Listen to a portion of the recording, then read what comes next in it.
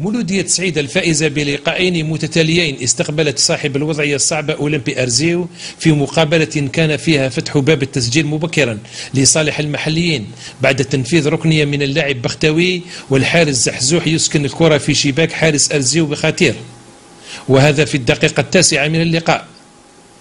وفي الدقيقة العشرين تسديدة زحزوح نحو العارضة لكن دون جدوى. وفي الدقيقة الخامسة والعشرين الحارس سفيون يمنع الأولمبي من تقليص الفارق. الدقيقة الخامسة والثلاثون حملة الجديد تألق خلالها اللاعب سعدي الذي سجل هدفا ممتازا. وانتهاء الشوط الأول بتفوق مولودية سعيدة بهدفين دون رد. الشوط الثاني لم يأتي بأي جديد رغم أخذ عناصر الفريق الزائر زمام المبادرة. إلى غاية نهاية اللقاء بفوز ثمين لمولودية سعيدة أمام أولمبي أرزيو.